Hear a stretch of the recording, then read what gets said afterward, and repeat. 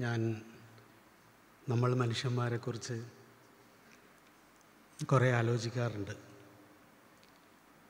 ഒന്ന് നേരെ ചൊവ്വേ കുറച്ച് സമാധാനത്തോടെ ഒരുമിച്ച് ജീവിക്കാൻ ഇത്രയും കഷ്ടപ്പെടുന്ന മറ്റൊരു ജീവി ഈ ജീവവർഗങ്ങളിലുണ്ടെന്ന് എനിക്ക് തോന്നിയിട്ടില്ല. സ്നേഹം ഉള്ള ആളുകളോട് പോലും സ്നേഹത്തോടെ മര്യാദയ്ക്ക് പെരുമാറാൻ കഴിയാതെ സങ്കടം അനുഭവിക്കുന്ന ഒരു ജീവിയാണ് നമ്മൾ. നമ്മളുടെ ഒരു ബോധത്തെ കുറച്ച് സമാധാനത്തോടെ മുൻപോട്ട് കൊണ്ടുപോവാൻ ഒരുപാട് സഹായങ്ങൾ ആവശ്യമുണ്ട് നമുക്ക്. ഞാൻ ആത്മസാക്ഷാത്കാരത്തിനോ ദൈവസാക്ഷാത്കാരത്തിനെ കുറിച്ചൊന്നുമല്ല പറയുന്നത്. കൊള്ളാവുന്ന ഒരു മനുഷ്യനായിട്ട് ജീവിക്കാൻ തന്നെ ഉദാത്തമായ ചിന്തകളുള്ള മനുഷ്യർ പോലും കഷ്ടപ്പെടുന്നു എന്നുള്ളതിനെക്കുറിച്ചാണ്.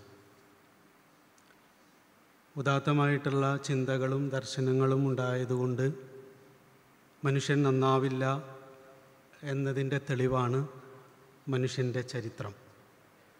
കാരണം അറിവിന് നമുക്ക് ഒരു കാലത്തും ഒരു കുറവുണ്ടായിട്ടില്ല. അറിവിന്റെ അഭാവമല്ല മനുഷ്യനെ ഇത്രമാത്രം സങ്കീർണതയുള്ള ഒരു ജീവിയാക്കി നിർത്തുന്നത്. നമുക്ക് കുറച്ചെങ്കിലും ഒരു സാധ്യത നമ്മുടെ സങ്കീർണതകളെ ഉല്ലംഘിക്കാൻ ഉള്ളത് അലിവാണ്. അതുകൊണ്ടായിരിക്കാം നാരായണഗുരു അരുളുള്ളവനാണു ജീവി എന്ന് ഉരുവിട്ടിയിടുക ഈ നവാക്ഷരി എന്നൊക്കെ പറഞ്ഞിട്ടുണ്ടാവുക. എന്നെ സംബന്ധിച്ചിടത്തോളം എന്റെ വ്യക്തി ജീവിതത്തിൽ പലതരത്തിലുള്ള അന്വേഷണങ്ങളുമായി അലഞ്ഞു നടക്കുമ്പോൾ ഓരോ സ്ഥലത്ത് കയറി ചെല്ലുമ്പോഴും ഓരോ അറിവുള്ളവർ എന്ന് പറയുന്ന മനുഷ്യരെ സമീപിക്കുമ്പോഴും അവരൊക്കെ അവരുടെ ദർശനത്തിലേക്ക് എന്നെ ക്ഷണിക്കുകയാണ് ചെയ്തത്. എനിക്കാവശ്യമുണ്ടായിരുന്നത് ഒരു ദർശനമൊന്നും ആയിരുന്നില്ല. ഒരു തത്വചിന്തയല്ല എനിക്ക് ആവശ്യമുണ്ടായിരുന്നത് അദ്വൈതമോ വിശിഷ്ടാദ്വൈതമോ ദൈവമോ സ്വർഗമോ ഒന്നുമല്ല. എനിക്ക് എന്താണ് ആവശ്യമുണ്ടായിരുന്നത് എന്ന് ഞാൻ ആദ്യമായിട്ട് അനുഭവിക്കുന്നത് ഗുരുനിത്യയെ കാണുമ്പോഴാണ്. അദ്ദേഹം എന്നോട് ഒരു തത്വചിന്തയും പറഞ്ഞില്ല. നാരായണ ഗുരുവിലേക്കും ക്ഷണിച്ചില്ല. നടരാജ ഗുരുവിലേക്കും ക്ഷണിച്ചില്ല. നാരായണ ഗുരുകുലത്തിലേക്കും ക്ഷണിച്ചില്ല. അതുവരെ ആരും ചെയ്യാത്ത ഒന്ന് അദ്ദേഹം എന്നെ ചെയ്തു. അദ്ദേഹം എന്നെ ഒന്ന് ചേർത്ത് പിടിച്ചു. ചെറിയൊരു കാര്യമാണ്. അതുവരെ മതത്തിന്റെ അല്ലെങ്കിൽ ആത്മീയതയുടെ സാഹിത്യത്തിന്റെ ഏത് ലോകത്തുള്ള മനുഷ്യരുടെ അടുത്തൊക്കെ ഞാൻ ചെന്നപ്പോഴും അവരൊക്കെ നമ്മളെ ഒരുപാട് അകറ്റി നിർത്തുകയും അവർ നമ്മളിൽ നിന്ന് അകന്നു നിൽക്കുകയും ചെയ്ത അനുഭവമാണ് എനിക്കുണ്ടായിട്ടുള്ളത്. ആദ്യമായിട്ടാണ് ഒരു മനുഷ്യൻ ചേർത്ത് പിടിക്കുന്നത്. മുറുക്കി പിടിച്ചോട്ടോ വിടണ്ട.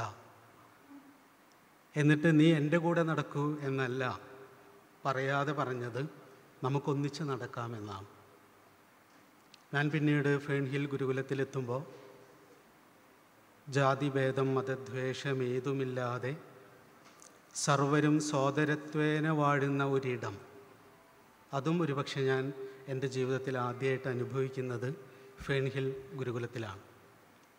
എല്ലാ വ്യത്യസ്തമായ ചിന്തകളുള്ള കുറേ മനുഷ്യർ വളരെ വ്യത്യസ്ത സ്വഭാവമുള്ള മനുഷ്യർ അവരവരായി തന്നെ ഇരുന്ന് ഒരുമിച്ച് സ്വരലയപ്പെട്ടിരിക്കുന്ന ഒരിടം. എന്നത് ഒരുപാട് അത്ഭുതപ്പെടുത്തിയിട്ടുണ്ട്. ഒരുപക്ഷെ ജീവിതത്തിൽ ഒരിടമില്ലാതെ സ്വതന്ത്രമായ അന്വേഷണങ്ങൾക്ക് എല്ലാ സ്വാതന്ത്ര്യത്തോടെയും കടന്നു ചെന്ന് ഇരിക്കാൻ ഒരിടമില്ലാതെ അലഞ്ഞു തിരിഞ്ഞിരുന്ന എന്നെ പോലെയുള്ളവർക്ക് ഒരാശ്രയസ്ഥാനം പോലെയാണ് ഗുരുകുലം ഉണ്ടായിരുന്നത്. പക്ഷെ അത് ഷൗക്കത്താവട്ടെ ജോസഫ് ആവട്ടെ രമണനാവട്ടെ മിയാക്കോയാവട്ടെ പീറ്ററാവട്ടെ നിങ്ങൾ എന്ത് ചിന്തയുമാണ് ആയിട്ടാണ് വരുന്നത്? നിങ്ങൾ എന്ത് വിശ്വാസമായിട്ടാണ് വരുന്നത്? എന്ന യാതൊരു ചോദ്യം അവിടെയില്ല. നിങ്ങൾ ആത്മാവിനെ അന്വേഷിക്കുന്നവരാണോ എന്ന് ചോദിക്കുന്നില്ല.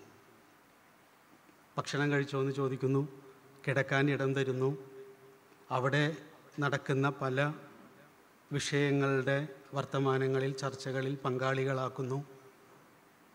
പ്രത്യേകിച്ച് നമ്മളോട് എന്തെങ്കിലും പുസ്തകം വായിക്കാൻ പ്രത്യേകമായി പറയുന്നില്ല. എന്തെങ്കിലും പ്രാക്ടീസ് ചെയ്യാൻ പറയുന്നില്ല. ദൈവത്തിൽ വിശ്വസിക്കാൻ പറയുന്നില്ല. വിശ്വസിക്കാതിരിക്കാൻ പറയുന്നില്ല. നടരാജ ഗുരുവിനെയോ നാരായണ ഗുരുവിനെയോ നിങ്ങൾ ഗുരുവായി സ്വീകരിക്കണമെന്ന് പറയുന്നില്ല. സ്വീകരിക്കണ്ട എന്ന് പറയുന്നില്ല. ആ ഗുരു തന്നെ പറയുന്നത് എനിക്ക് സുഹൃത്തുക്കളേ ഉള്ളൂ. എനിക്ക് ശിഷ്യന്മാരൊന്നുമില്ല എന്നാണ്. അങ്ങനെയുള്ള ഒരു സൗഹൃദ അന്തരീക്ഷത്തിൽ മാത്രമേ നമ്മളുടെ ബോധത്തിന് കുറച്ചെങ്കിലും അലിവുള്ള ഒരിടം ഉണ്ടാവുകയുള്ളൂ എന്ന് എന്റെ വ്യക്തി ജീവിതത്തിൽ ഞാൻ ആദ്യമായിട്ട് അനുഭവിച്ച ഒരിടമാണ് നാരായണ ഗുരുകുലം. ആദ്യമായിട്ട് ഉണ്ടാവേണ്ടത് സൗഹൃദമാണ്. ഗുരുനിത്യ എപ്പോഴും പറയും നമ്മളെടുത്തൊരാൾ വരുമ്പോൾ നിങ്ങളുടെ തലയിൽ തിങ്ങി വിങ്ങി നിറഞ്ഞിരിക്കുന്ന ചിന്തകളെ അവരിലേക്ക് പകരാതിരിക്കുക. പകരം ഒരു നല്ല ചായ ഇട്ട് കൊടുക്കുക. പറ്റുമെങ്കിൽ അവരുടെ കൂടെ ഒന്ന് നടക്കാൻ പോവുക അങ്ങനെ നിങ്ങൾക്കിടയിൽ നിങ്ങളുടെ ശരീരങ്ങൾക്കിടയിൽ നിങ്ങളുടെ മനസ്സുകൾക്കിടയിൽ നല്ലൊരു സൗഹൃദാന്തരീക്ഷം രൂപപ്പെടുത്തിയതിന് ശേഷമാവട്ടെ നിങ്ങളുടെ ചിന്തകൾ നിങ്ങളുടെ ദർശനങ്ങൾ പരസ്പരം പങ്കുവെക്കുന്നത് അങ്ങനെയാണെങ്കിൽ പരസ്പരമുള്ള വാദിക്കലും ജയിക്കലും അവിടെ ഉണ്ടാവില്ല.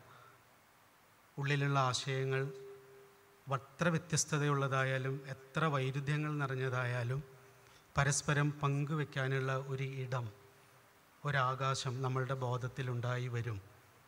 ആ ഒരു സൗഹൃദാന്തരീക്ഷത്തെ സൃഷ്ടിക്കുക എന്നതാണ് നാരായണ ഗുരുകുലം ചെയ്തിട്ടുള്ളത് എന്നാണ് എന്റെ അനുഭവം.